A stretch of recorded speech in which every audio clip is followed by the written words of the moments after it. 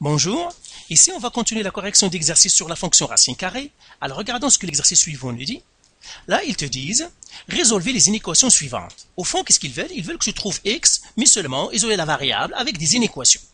Je te suggère de faire la méthode des trois étapes, ben, qu'on va utiliser aussi dans la fonction valeur absolue, rationnelle, logarithmique, exponentielle, etc. Alors cette méthode, première étape, la méthode des trois étapes, c'est tracer le graphique. Et là, il faut bien maîtriser comment tracer le graphique en main levée, rien qu'en connaissant le ABHK.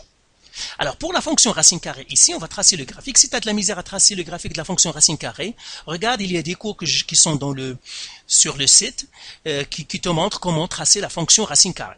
Alors, pour tracer la fonction racine carrée, j'ai besoin des paramètres A, B, H et K. Alors, là, je regarde, est-ce que ma fonction est sous la forme La forme canonique, encore, je peux te la faire rappeler ici, c'est f de x est égal à a, racine carrée, b, x moins h, plus que tu dois toujours bien maîtriser, même pour les autres cours, les autres fonctions, c'est très important de bien maîtriser la forme canonique. Alors, le a ici, c'est le moins 2, je pourrais le trouver même si la fonction n'est pas sous la forme canonique. Le b, c'est toujours le nombre qui multiplie le x, ici, il n'y a aucun nombre, ça veut dire c'est 1. Le h, c'est le contraire de ce qui paraît, mais je vois que ma fonction est sous la forme canonique, il suffit de mettre les parenthèses et avec un 1 devant. Donc le A c'est le contexte qui paraît, c'est moins 3, et le K c'est 1. Là, je vais faire mon graphique ici, donc plan cartésien, et je vais représenter mon sommet à, main levée. Hein. Donc H c'est moins 3, donc je vais mettre moins 3 ici. Et puis le 1, je le mets quelque part ici. Tu n'as pas à être précis ni avec des graduations précises, seulement l'allure doit être là. Pardon Maintenant, je regarde mon graphique où est-ce qu'il va partir? Est-ce qu'il va partir vers les x positifs ou vers les x négatifs? Je te rappelle que la fonction racine carrée, on a quatre situations. Soit deux situations comme ça, avec les x vers le, graphique vers les x positifs, ou comme ça, et comme ça. Qui me dit, est-ce que je dois partir vers les, x plus l'infini ou bien les x moins l'infini? C'est le b. Le b ici, il est positif. Ça veut dire, je vais partir vers les plus l'infini seulement, avec un ventre plein ou un ventre vide. Encore une fois, regarde la vidéo, il va t'expliquer tout ça. Donc, qui me donne le ventre, c'est le A. Le A est négatif. Ça veut dire, il me dit un ventre creux, un ventre vide. Ça veut dire mon graphique va être comme ça. Et là, ben, j'ai mon sommet, et ben, je vais faire comme ça. C'est ça mon graphique. Donc, une fois que j'ai tracé mon graphique, et bien, tout simplement, je vais représenter. Donc, ça maintenant, je vais l'effacer. Hein, je n'ai plus besoin de ça. Parce qu'on connaît euh, tout ça maintenant. Et bien, la solution, ils me disent, ben, plus grand ou égal à 0, ça veut dire la courbe est en haut de 0. Ben, le 0, c'est l'axe des x ça veut dire qu'il doit être en haut de, 0. Ça veut dire qu'ils veulent cette partie-là, du sommet jusque-là. Le sommet, je le connais, mais je ne connais pas ça. Et c'est là où ça rentre la deuxième étape, parce que je dois trouver ce point-là ici. Hein. Donc, deuxième étape, isoler la variable. Isoler la variable. La variable, si nécessaire. Parfois, on va voir qu'on n'a même pas besoin de cette étape-là. Parfois, le graphique va nous donner la solution. Mais parfois, on a besoin d'isoler la variable. Et puis, remplacer les signes d'inégalité ça, ça, ça ou ça par égal. Donc ça, je le remplace par égal. Et là, j'isole la variable. Donc je vais le faire ici. Moins 2 racine carrée de x plus 3 plus 1 égale 0. Et là, qu'est-ce que je vais faire? Eh bien, tout simplement isoler la variable. Si tu as la misère à isoler la variable de la fonction racine carrée, regarde, il y a une vidéo qui t'explique ça. Et là, je vais faire moins 2 racine carrée x plus 3 égale 0 moins 1, c'est moins 1. Je divise par moins 2, je divise par moins 2 pour me débarrasser du moins 2. Ça me laisserait racine carrée de x plus 3 égale moins 1 qui divise moins 2, c'est 0,5. Maintenant, je dois me débarrasser de la racine carrée. Je fais à la 2 et à la 2. Tout simplement parce que je cherche un point, je sais que le x est là. Donc là, la racine carrée et le à la 2 vont disparaître. Ça me restera x plus 3 est égal 0,5 à la 2, c'est 0,25. Je fais moins 3. Moins 3 pour me débarrasser du 3. Ce qui me laisserait enfin x est égal à moins 2,75. Voilà. Alors là, ça veut dire ce point-là, c'est moins 2,75. Troisième étape, maintenant que j'ai trouvé, isolé la variable, réponse. Donc, il faut répondre à la, question, tout simplement.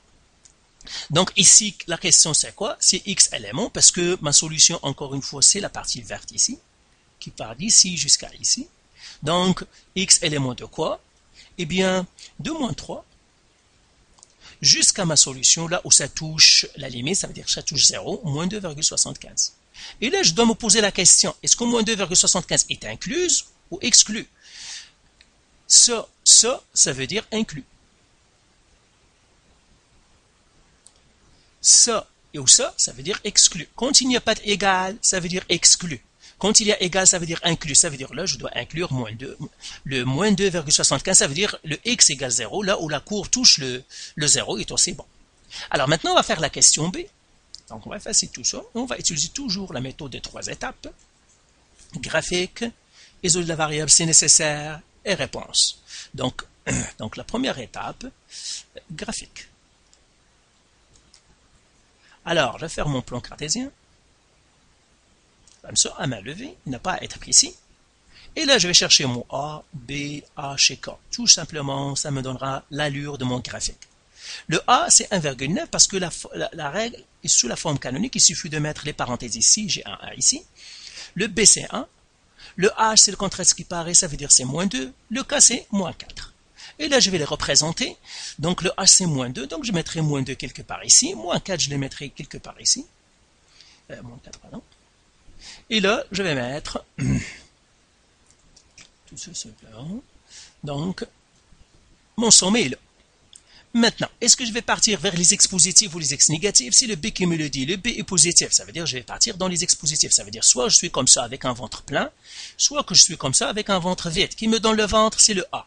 A est positif, ça veut dire le ventre est plein. Donc, ça va faire quelque chose comme ça. Voilà, j'ai tracé mon graphique. Maintenant, qu'est-ce que je vais faire? Eh bien, je vais identifier ma solution sur mon graphique. Donc, je vois ici moins 6. Ça veut dire je dois représenter la droite horizontale de moins 6. Donc, disons moins 6, elle est là. Et je représente la droite horizontale, toujours représentée. Hein. L'équation ici, ça me donne une droite. C'est une constante, ça veut dire le moins 6. Et maintenant, ils me disent quoi? Alors, premièrement, je vais effacer tout ça. Ils me disent que le graphique doit être plus grand que moins 6. Ça veut dire c'est ça supérieur ou égal. Ça veut dire mon graphique est plus grand que moins 6. Ben, je vois que mon graphique est déjà plus grand que moins 6. Il est toujours plus grand que moins 6. Donc ça veut dire quoi? Ici, il n'y a rien à isoler parce que la solution est bien évidente. Ben, elle est toujours plus grand que moins 6. Donc là, je dis x, élément de quoi? Eh bien, parce que mon graphique est toujours plus grand que moins 6, ça va faire 2 moins 2 jusqu'à plus l'infini. Donc la solution c'est de moins 2 à plus l'infini, parce que pour tous les x, ils passent. Ça veut dire qu'ils sont tous plus grands que moins 6. Euh, alors, faisons maintenant la C. Donc ça aussi. Donc la C. Donc là encore, graphique. Je fais mon plan cartésien. Et je vais sortir les paramètres A, B, H et K. Là, ici, moins, ça veut dire il n'y a rien, ça veut dire que c'est un moins 1. Le A, c'est 3, le B, c'est moins 1, le H, c'est 1, parce que le contraire, ce qui paraît, le K, c'est moins 4. Et là, je peux le tracer, le HK va me donner le sommet, le sommet, c'est 1, moins 4. Donc ça, c'est 1, ça, c'est moins 4. Donc, 1 moins 4, quelque part ici. Là, le B, ça me donne le sens. Est-ce que je vais partir vers les x positifs ou les x négatifs? Le, le B est négatif, ça veut dire que je vais partir dans les, négatifs, soit avec un ventre plein, soit avec un ventre vide. Le 3 ici, le, A est positif, ça veut dire c'est un ventre plein, donc je vais partir comme ça. Eh bien, je vais le tracer. Comme ça. Voilà. Là maintenant, une fois que j'ai tracé mon graphique, je vais représenter tout simplement ma solution et l'identifier. J'ai ici 5, ça veut dire quoi? Ben, Je vais tracer une droite horizontale 5 quelque part. Ben, 5 il est quelque part ici. Donc ça c'est 5. Et je vois maintenant, eux, qu'est-ce qu'ils veulent? Ils veulent que mon graphique soit plus petit que 5. Ça veut dire en bas de la droite 5. Où est-ce qu'il est en bas de la droite 5 C'est ce morceau-là. Voilà, c'est cette branche-là, ce morceau de, courbe qui est en bas de 5. Autrement dit, je dois trouver ce point pour que je puisse savoir c'est d'où à où. Et là, ça rentre, la deuxième étape, c'est isoler la variable. Donc, deuxième étape, isoler la variable. Isoler la variable. Variable et là, on a dit, on va remplacer le signe par égal. Donc, je vais faire 3, racine carrée, moins x moins 1, moins 4 est égal à 5. Alors là, je vais effacer tout pour que ça ne me dérange plus.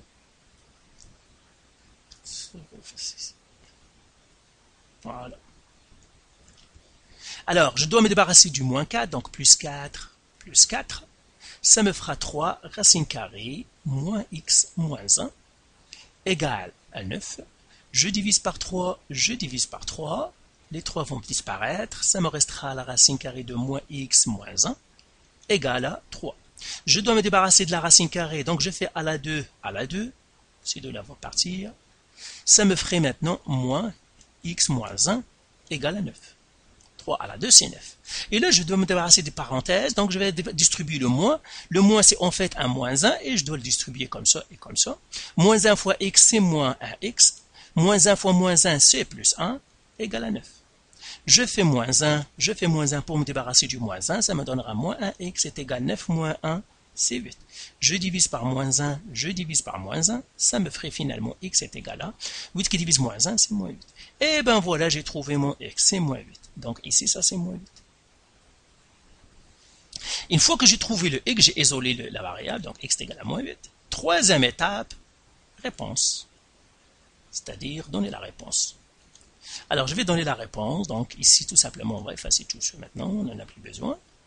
Et j'écris, qu'est-ce que ça va faire? Ici, j'écris x élément 2.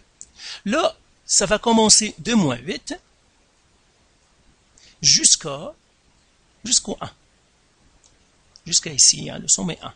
Le sommet est inclus parce qu'il est, plus, bien loin du moins euh, du 5.